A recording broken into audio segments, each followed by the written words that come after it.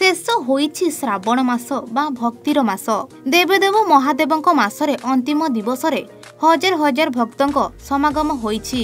ରାଣୀପୁର ଝରିଆଲର ପ୍ରସିଦ୍ଧ ସୋମେଶ୍ୱର ମନ୍ଦିରରେ ବିଭିନ୍ନ ଅଞ୍ଚଳରୁ ପାଣି ଆଣି ମହାଦେବଙ୍କ ଲିଙ୍ଗ ଉପରେ ପାଣି ଢାଳି କରିବା ସହ ନିଜ ନିଜ ମନସ୍କାମନା ପାଇଁ ପୂଜା ଅର୍ଚ୍ଚନା କରିଛନ୍ତି।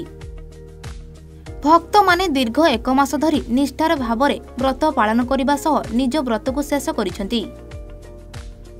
ଏହି ପରିପ୍ରେକ୍ଷୀରେ ଶ୍ରାବଣ ମାସ ଶେଷ ଶ୍ରାବଣ ପୂର୍ଣ୍ଣିମାରେ ଭାଗବତ ପାଠ ସାଙ୍ଗକୁ ଯଜ୍ଞ କରି ମହାପ୍ରଭୁଙ୍କୁ ଆହ୍ୱାନ କରାଯାଇଛି।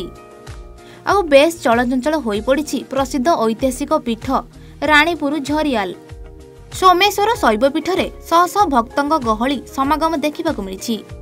ଏଥିରେ କୋଇବାହାଲା ଜଗନ୍ନାଥ ଭାଗବତ ଟୁଙ୍ଗିର ଭକ୍ତ ତଥା ଶ୍ରଦ୍ଧାଳୁମାନେ ସେବାୟତଙ୍କ ଦ୍ୱାରା ପୁରାଣ ପାଠ ଓ ଭାଗବତ ପାଠ ଅନୁଷ୍ଠିତ ହୋଇଯାଇଛି।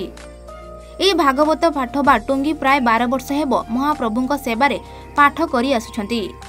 ପ୍ରବଳ ଭକ୍ତ ବୋଲବମ୍ ବ୍ରତଧାରୀଙ୍କ ବେଶ୍ ଭିଡ଼କୁ ନେଇ ବ୍ୟାପକ ସୁରକ୍ଷା ବ୍ୟବସ୍ଥା ଗ୍ରହଣ କରାଯାଇଥିଲା। ବଲାଙ୍ଗୀରରୁ ସଞ୍ଜୟ ବେହେରାଙ୍କ ରିପୋର୍ଟ ଏ ଓଡ଼ିଶା।